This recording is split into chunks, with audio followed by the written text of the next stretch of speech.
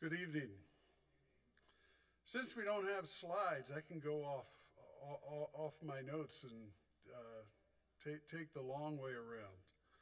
Um, although I am knowledgeable that we're running a little bit behind, um, so we'll we'll we'll do it. Uh, we'll, we'll see how this goes, and as the Lord leads.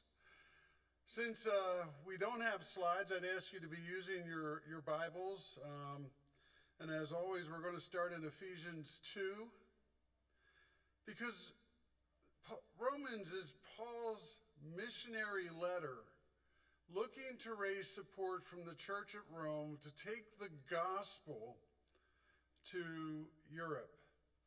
And, and as he does that, he, he comes up with this great treatise that expands the gospel. But I think it's important that every time we look, we look at what the gospel is. And the reason I think it's important that we do that is because it's easy. And, and tonight's message is kind of a shocking message. If you don't look through Ephesians, uh, Romans 6 and come away with, whoa, you know, this is a bit out there. This is a bit extreme. You know, extreme sports, you know, we, we you know, this is extreme living. And if you and, and it could be easy to look at this message and say it's about how I do works that gets me to heaven. And so I always want to start with the basis of salvation is through faith by grace. Ephesians 2, starting at verse 8. For by grace you have been saved through faith, and it is not your own doing, it is the gift of God, not a result of works, so that no one may boast. For we are his workmanship, created in Christ Jesus for good works, which God prepared beforehand that we should walk in them. And I'm just going to stop there in Ephesians 2 because I, I think that's sufficient. We'll next time we come back, we'll finish the rest of that thought. But grace through faith not works. So Hudson is not preaching salvation by works.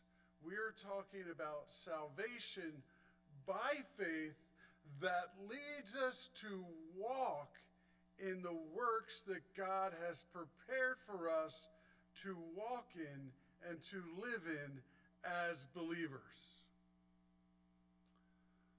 What Hudson does not say, and what we are not preaching from the book of Romans, is that you cannot have an experience of faith in Jesus Christ and continue to live in a way that otherwise is unchanged. I can't come to Christ and say, Lord, save me just don't change anything in my life because I'm kind of comfortable with where everything is and I don't want anything to have to change. If we come with that, we have not come at all. We've said, let's put a dash of God on my life, not God, here is my life. And the gospel that Paul preaches in the book of Romans is one that should lead us through what we've been through in Romans 1, 2, 3, 4, and 5 that we are desperately wicked and sinful people. And because of that, God gave his Son. And through grace, which brings praise to his name, we can be saved. But because we come,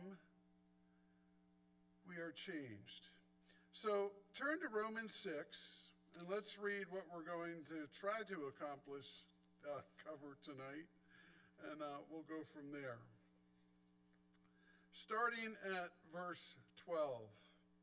Let not sin therefore reign in your mortal body to make you obey its passions. Do not present your members to sin as instruments for unrighteousness, but present yourselves to God as those who have been brought from death to life, and your members to God as instruments for righteousness. For sin will have no dominion over you, since you are not under law, but under grace. What then? Are we to sin because we are not under the law, but under grace? By no means. Do you not know that if you present yourselves to anyone as obedient slaves, you are slaves of the one whom you obey, either of sin, which leads to death, or of obedience, which leads to righteousness? But thanks be to God that you who were once slaves of sin have become obedient from the heart to that standard of teaching to which you were committed. And having been set free from sin, have become slaves of righteousness. I am speaking in human terms because of your natural limitations. For just as you once presented your members as slaves to impurity and to lawlessness, leading to more lawlessness, so now present your members as slaves to righteousness, leading to sanctification. For when you were slaves of sin, you were freed in regard to righteousness. But what fruit were you getting at that time from the things of which you are now ashamed? For the end of those things is death. But now that you have been set free from sin and have been, become slaves of God, the fruit you get leads to sanctification and its end, eternal life. For the wages of sin is death, but the free gift of God is eternal life in Christ Jesus our Lord. Heavenly Father, we ask you as we look at your word tonight and at this passage and contemplate the need to be slaves to righteousness and to experience the victory that you want us to have over sin, we pray, Lord, that the Holy Spirit would direct our eyes to your word and to our hearts. Take away the deception and, and evil that the world tries to influence us with, and help us be influenced by the righteousness of our Savior, Jesus Christ, and his Holy Spirit, in whose name we pray, our Savior, Jesus Christ. Amen. Romans 5 1 to 839, we says, talks overall about the confidence of future glory provided by the gospel. And verses 1 to 14 of chapter 6, we said, talks about the future glory foreseen in freedom from sin by union with Christ. verses 15 to 23, which we'll at least start tonight, maybe get through, is the hope of future glory frees us to be slaves of righteousness. Now, last week we uh, finished up verses 8 through 14, and we talked about the fact that faith in Christ leads to hope for our eternal future with love for God and our siblings in faith. One thing that we realize as we contemplate that faith, hope, and love is that we have a great Savior. But the problem with that is that Jesus, and this is a quote, not mine, Jesus cannot simply be liked you either kill him or crown him in your life. And that's uh, from Pastor Tim Keller. You just can't simply add a little dash of God to your life, particularly Jesus Christ. If you understand the claims that Jesus are making, you either crown him as Lord as your life or you throw stones. You look to crucify him because you don't want to submit to the creator of the universe.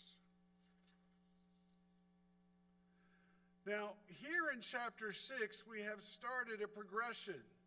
If you think of verse 1, you remember back to verse 1, it says, What shall we say then?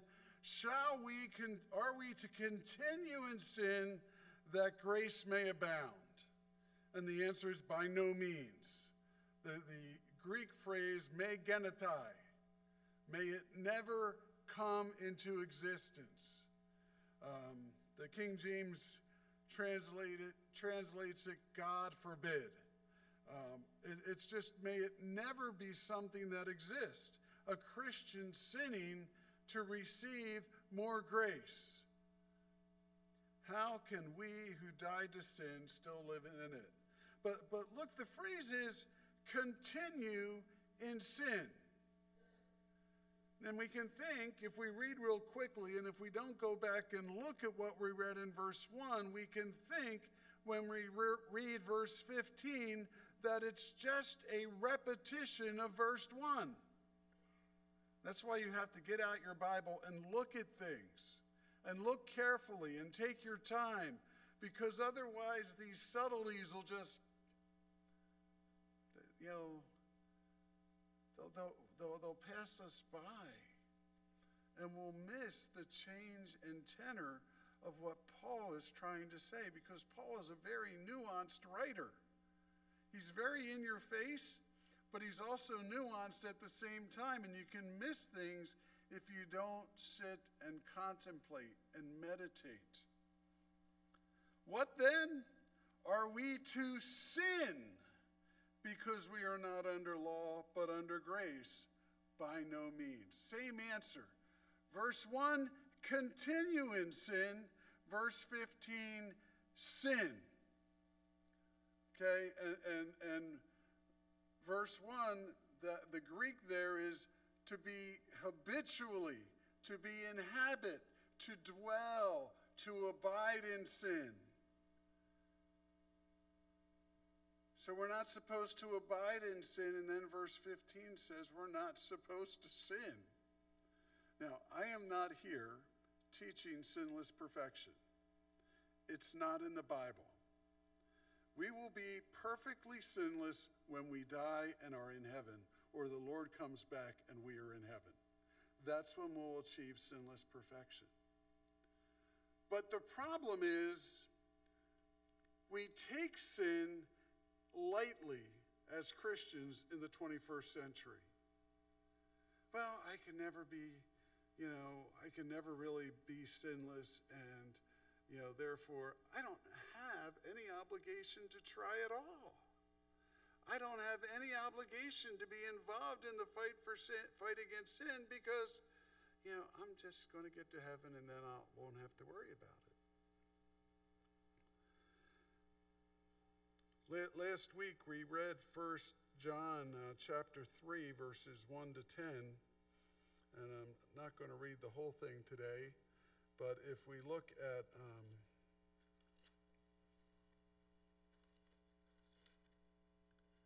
a second to get there. This is a great passage. I'm, I'm going to go back and start at verse 4 because I think this, this paragraph um, is just really important as we come to think about the topic. Everyone who makes a practice of sinning, practice, habit, dwelling, also practices lawlessness. Sin is lawlessness. You know that he appeared in order to take away sins, and in him, in Christ, there is no sin. No one who abides in Christ, no one who abides in him, keeps on sinning, and no one who keeps on sinning has either known him, seen him, or known him. So, if you sit here tonight and claim to have come to Christ, but your life and your relationship with sin has not changed. Hudson doesn't. The Apostle John says, You're a liar and you are not in Christ. And I say that with that finger same finger pointing at me. If I am not engaged in the battle against sin, I am not in Christ. The Bible says it. Little children, let no one deceive you. Whoever practices righteousness is righteous as he is righteous. Whoever makes a practice of sinning is of the devil, for the devil has been sinning from the beginning. The reason the Son of God appeared was to destroy the works of the devil. No one born, born of God makes a practice of sinning, for God's seed abides in him, and he cannot keep on sinning because he has been born of God. By this is it, it is evident who are the children of God and who are the children of the devil. Whoever does not practice righteousness is not of God, nor is the one who does not love his brother. Wow. I feel bad. I feel bad having to preach that. I feel bad having to read it. I feel bad having to listen to it because that makes me feel guilty. Because I know I have not overcome sin, I have not reached sinless perfection. Charles Spurgeon said, I believe the holier a man becomes, the more he mourns over the unholiness which remains in him. The more sin you battle and overcome and do away with in your life, the more the sin that is left will bother you because you know it bothers our Savior. And when we, we talk about sin and overcoming sin, turn to Hebrews chapter 12.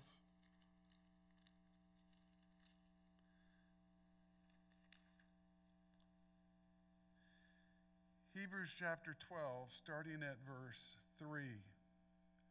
Consider him who endured from sinners such hostility against himself so that you may not grow weary or faint hearted. In your struggle against sin, don't worry because you can just sit back and relax. Jesus has taken care of it all.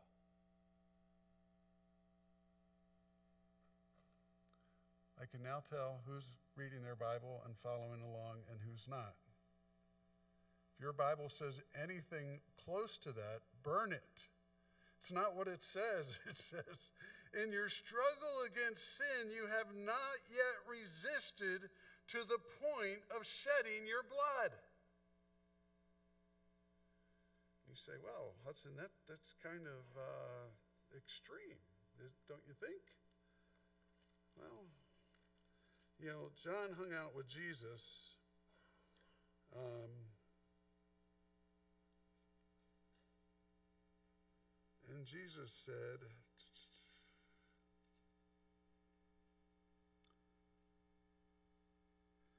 in Matthew 5 29, if your right eye causes you to sin, tear it out and throw it away. For it is better that you lose one of your members than your whole body be thrown in hell. And if your right hand causes you to sin, cut it off and throw it away. For it is better that you lose one of your members than that your whole body go into hell. And the, the Sermon on the Mount we could get really distracted about. But what, what I just want to say is look and think about what the Scripture says our attitude should be against our fight against sin. It's not something we should enter into lightly. It is not something we take lightly. The writer of Hebrews continues in verse 5 And have you forgotten the exhortation that addresses you as sons? My son, do not regard lightly the discipline of the Lord, nor be weary when reproved by him, for the Lord disciplines the one he loves and chastises every son whom he receives. It is for discipline that you have to endure. God is treating you as sons. For what son is there whom his father does not discipline? If you are left without discipline in which all have participated, then you are illegitimate children and not sons. How do we know? God corrects us. We feel bad because we're being corrected. That's okay.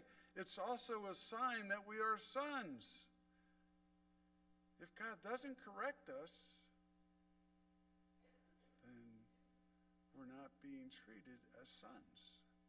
And that's a problem. You know, we've had earthly fathers, you know, they discipline us for our good that we may share Verse 10 For they disciplined us for a short term, short time, as it seemed best to them, but he disciplines us for our good, that we may share his holiness. For the moment, all discipline seems painful rather than pleasant, but later it yields the peaceful fruit of righteousness to those who have been trained by it. Therefore, lift your drooping hands and strengthen your weak knees and make straight paths for your feet, so that what is lame may not be put out of joint, but rather be healed. Strive for peace with everyone, and for the holiness without which no one will see the Lord. Strive for holiness. See verse 15, see to it that no one fails to obtain the grace of God that no root of bitterness springs up and causes trouble, and by it many become defiled.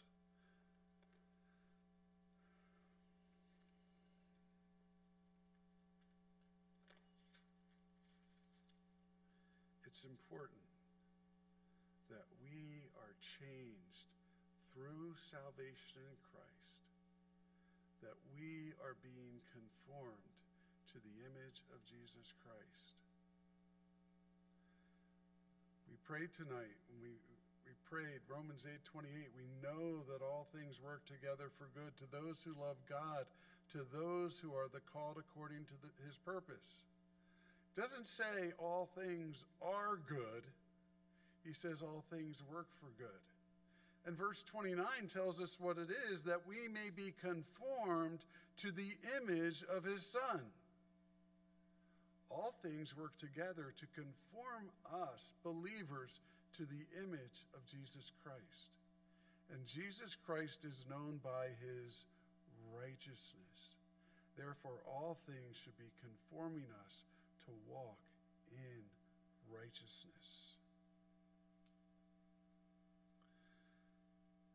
Going back to, to Romans 6, and, and we talked about the fact that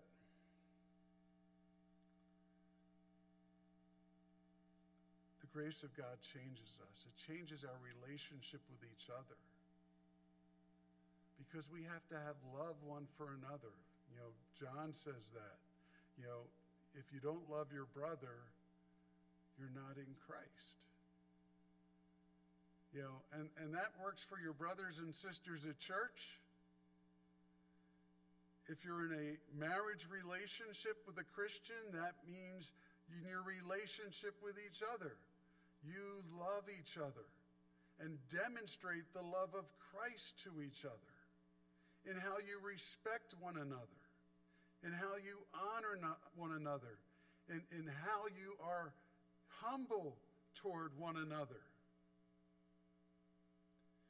Christianity teaches that husband and wife submit to one another in Christ in humility. Your house is not, I'm the man and I said, and that's how it goes. That's not a Christian household. That's not a biblical household. Love your wife like Christ loves the church. We need to get rid of the sinfulness in our relationships with one another and treat each other with honor and respect as those who have been humbled by the Lord. Verse 16 to 18 back in Romans 6 says, Do you not know that if you present yourselves to anyone as obedient slaves, you are slaves of the one whom you obey, either of sin, which leads to death, or of obedience, which leads to righteousness? But thanks be to God that you who were once slaves of sin have become obedient from the heart to the standard of teaching to which you were committed. And having been set free from sin, have become slaves of righteousness. Now, the language here offends us. Slavery offends us. Now, slavery was very common in this um, point in time, and it was not the chattel slavery of, uh, of the early United States, but it was an economic slavery where people would, would indenture themselves to people who had money to, to provide themselves a living.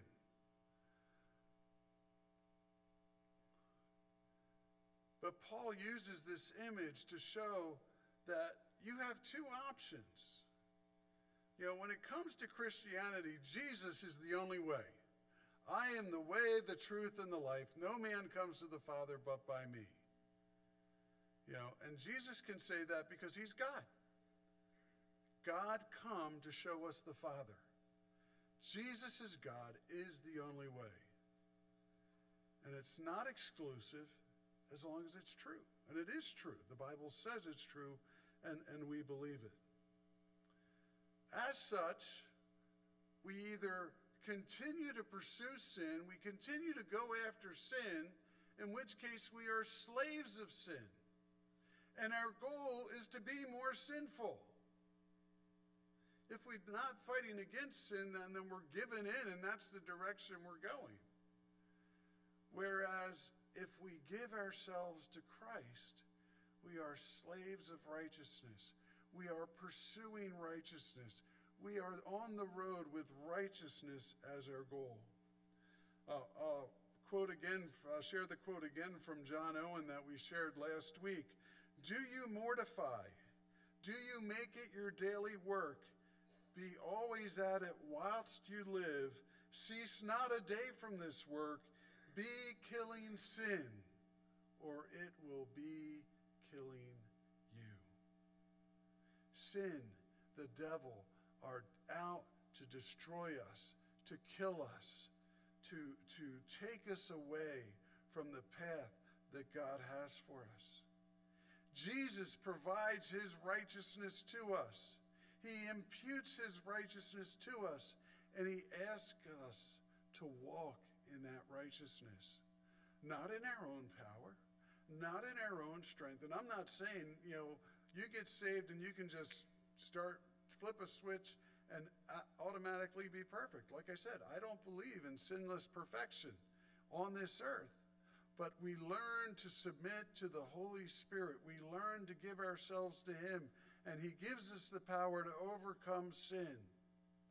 And the more we do that, the more when we fall, when we fall flat on our face, the Holy Spirit picks us up.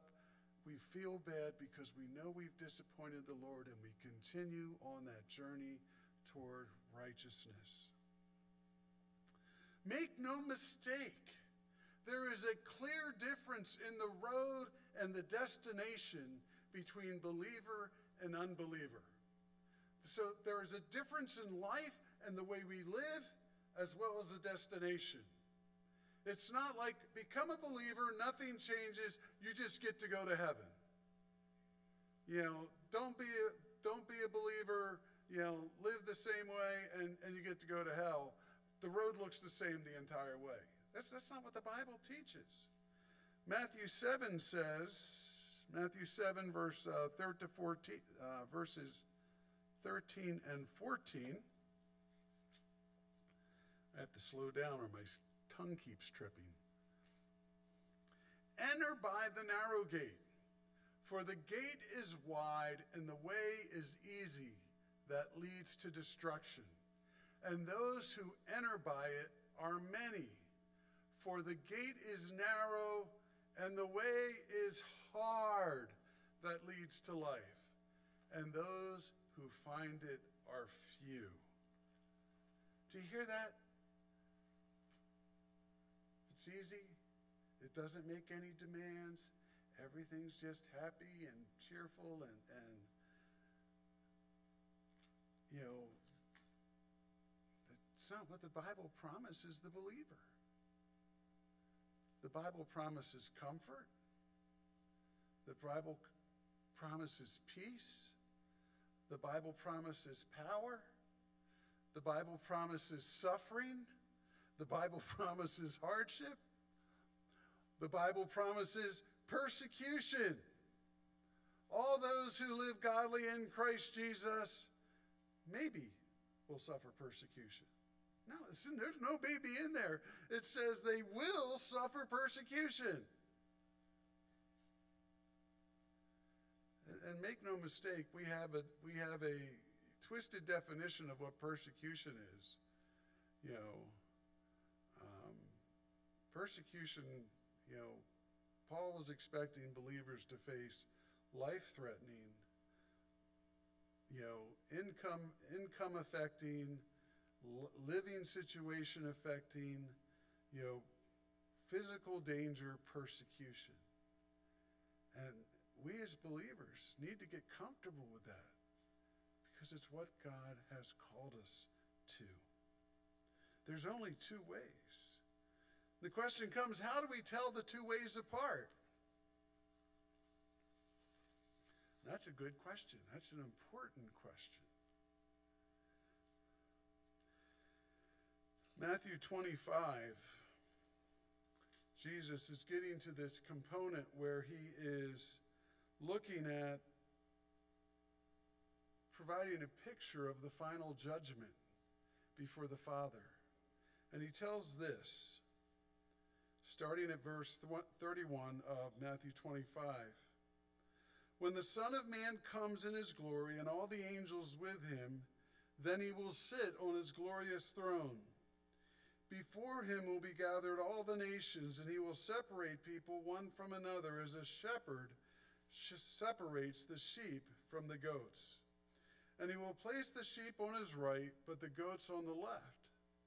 Then the king will say to those on his right, Come, you who are blessed by my Father, inherit the kingdom prepared for you from the foundation of the world. For I was hungry, and you gave me food. I was thirsty, and you gave me drink. I was a stranger and you welcomed me. I was naked and you clothed me. I was sick and you visited me. I was in prison and you came to me. Then the righteous will answer him, saying, Lord, when? When did we see you hungry and feed you, or thirsty and give you drink? And when did we see you a stranger and welcome you, or naked and clothe you? And when did we see you sick or in prison and visit you? And the king will answer them Truly I say to you, as you did it to one of the least of these my brothers, you did it to me. Then he will say to those on his left, Depart from me, you cursed, into the eternal fire prepared for the devil and his angels, for I was hungry, and you gave me no food. I was thirsty, you gave me no drink. I was a stranger, and you did not welcome me, naked, and you did not clothe me, sick and in prison, and you did not visit me. Then they also will answer, saying, Lord, when, when did we see you hungry, or thirsty, or a stranger, or naked, or sick, or in prison, and did not minister to you? Then he will answer them, saying, Truly I say to you, as you did not do it to one of the least of these, you did not do it to me and these will go away into eternal punishment, but the righteous into eternal life. Throughout much of history, the church was known for its love and care of the poor, the infirm, the sick. Hospitals were started by the church.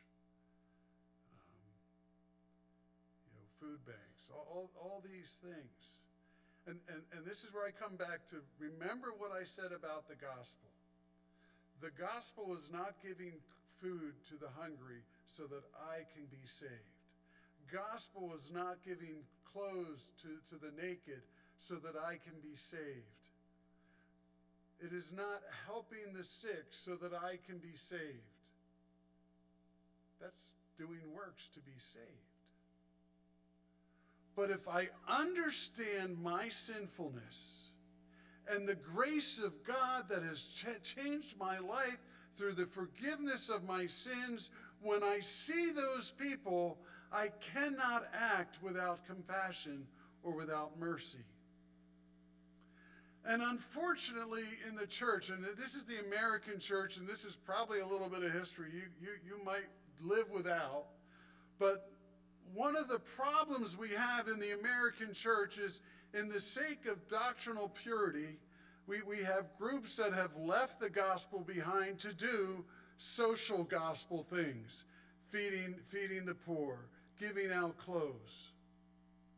And so the reaction of the Bible believing churches has been to be, oh, we can't do that. People might confuse us with the people who have left the gospel behind. And so we're just not going to do any of that anymore, and we're just going to stick to the word. Well, you can't stick to the word and not do those things. You can't be a believer and not live out the love of the Savior that loved you.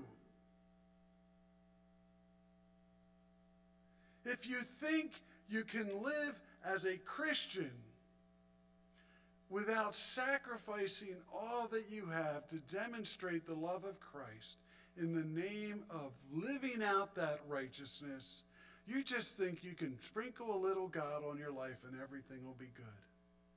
Christianity is all or nothing. You either accept Jesus as Savior and Lord or you reject Him. If you just come to God and pray, Lord, just save me, and I'm not really going to change my life, I'm just saying this prayer so you'll write my name in your book and I'll get to heaven and everything will be great. I don't have to change anything in my life. That is not the gospel. I grew up in a church, and, and you know, I was more important about getting your name on my list that you said the prayer, and after that, who cared?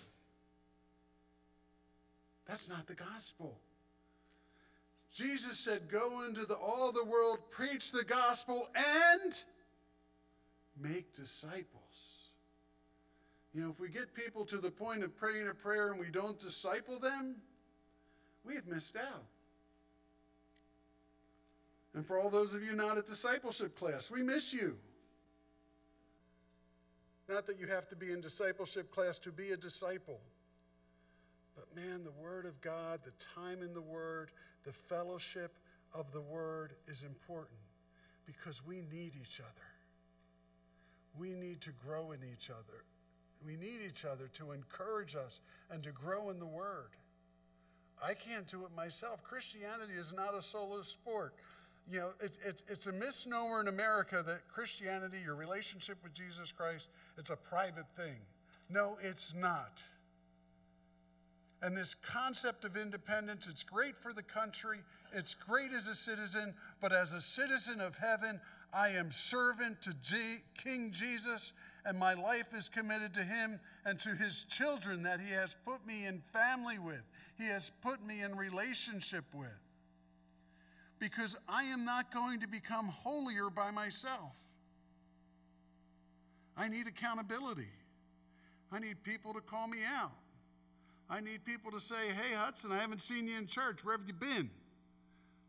Or Hudson, you know that you said that, and that was a lousy. You have a lousy attitude about that. Straighten up. I, I need that because I'm not perfect. I don't have it all. I don't know it all. You know, the men who get up here and share the word, none of us have arrived. We are on the journey with you. And we beg you to come. Submit yourself to Jesus Christ. Submit yourself to the gospel.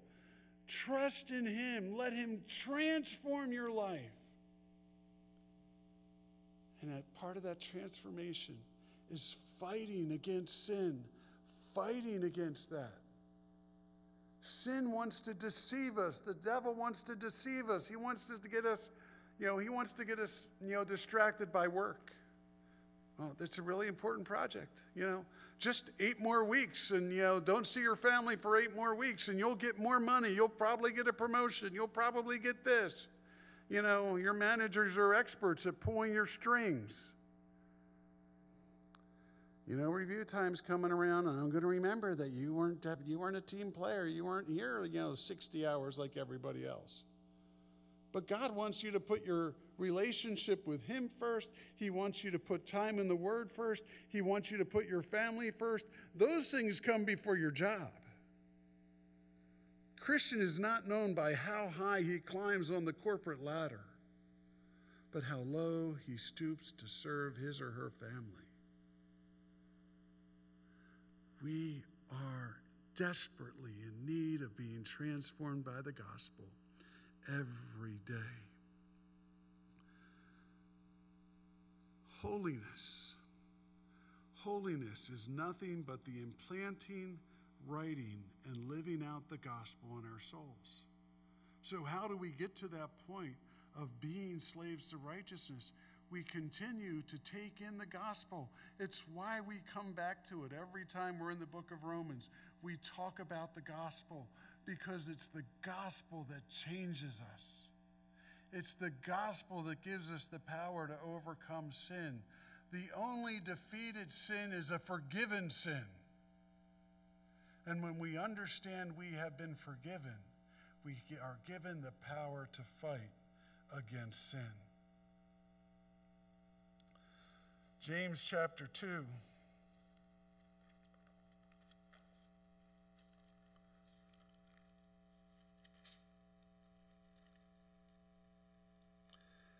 Verse 14 says, What good is it, my brothers, if someone says he has faith but does not have works? Can that faith save him? And there's an implied answer there. It's not written in there, but the implied answer is no. Faith that does not lead to good works is dead. And he can't save you. It's not saving faith. Verse 15 If a brother or sister is poorly clothed and lacking in daily food, and one of you says to them, Go in peace, be warm, be filled, you know, God take care of you. You know, I got a pantry full of food, but, you know, you, God will take care of you too. Uh, just, just go, get out, uh, leave me alone. If they say, Go in peace, be warmed and filled, without giving them the things needed for the body, what good is that? So also faith by itself, if it does not have works, is dead. When I was young, you know, they used to, people would preach sermons and, you know, we would talk about the doctrine of eternal security. And I firmly believe in eternal security. Once you are saved, truly saved, you are forever saved. But, you know, sometimes people think, you know, you need to be born again and again and again and again and again. That, you know, that's not what the Bible teaches. But, you know, people would get doubts. You know, you get saved at, at an age, you know, I got saved when I was eight. Uh, and then you get, well, 12. Did, you know, did I, did I mean it right? Did I say the words right? You know, was I sincere enough? Why? Because I think salvation is about me and my works, because I think it's about how I prayed, you know, and, and not about the grace. But, you know, and, and, and, and then, you know, preachers would say, you need to write it in front of your Bible. It's like a birth certificate.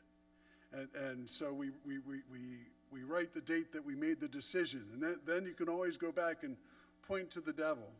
This, this is the day I got saved. How many of you carry around your birth certificate to prove you're alive? Yeah, kind, kind of what I thought. Well, then how do you prove you're alive?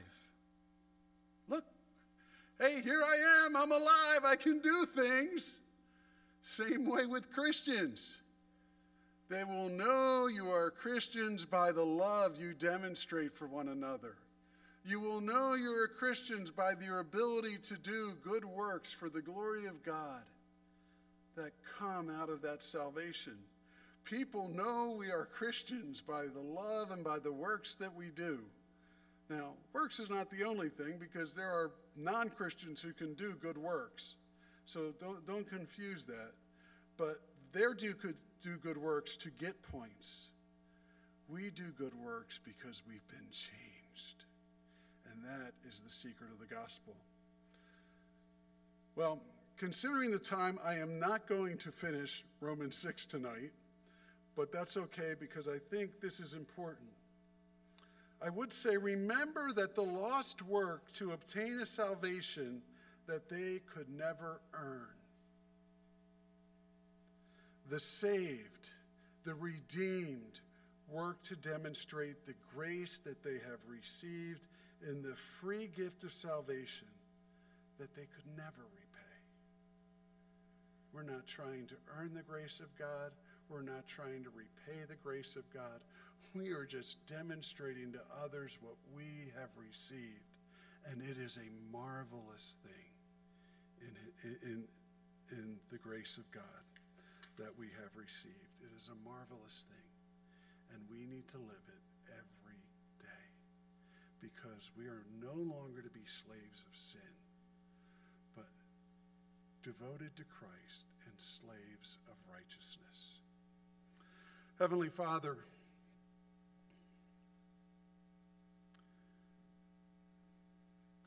Maybe, Lord, the slide projectors didn't work because we needed to hear some of the tangents tonight. Maybe I needed to hear them. And Lord, I just pray that the time we have spent in your word will be magnified by the Holy Spirit in the days and the weeks ahead.